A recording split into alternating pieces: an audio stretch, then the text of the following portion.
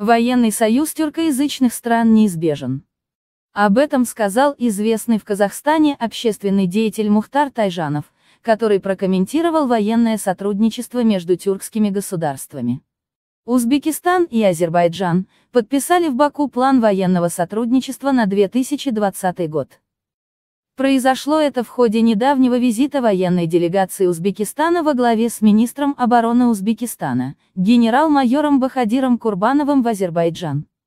Вскоре пришла новость о том, что Казахстан договорился о военном сотрудничестве с Турцией.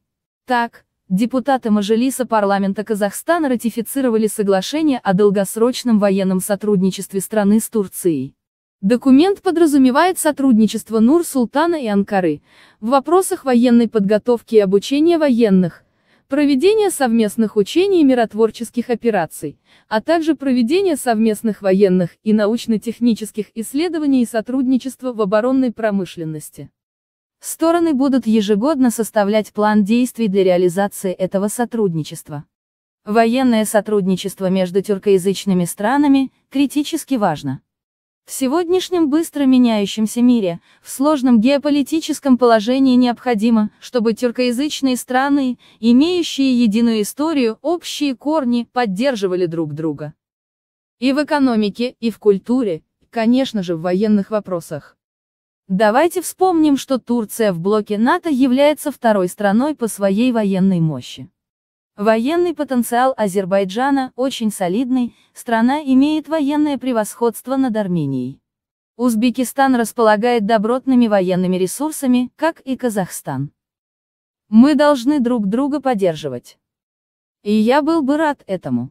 Часто появляются новости о конфликтах и противоречиях между тюркоязычными государствами Центральной Азии. Они решаемы. Они могут быть решены.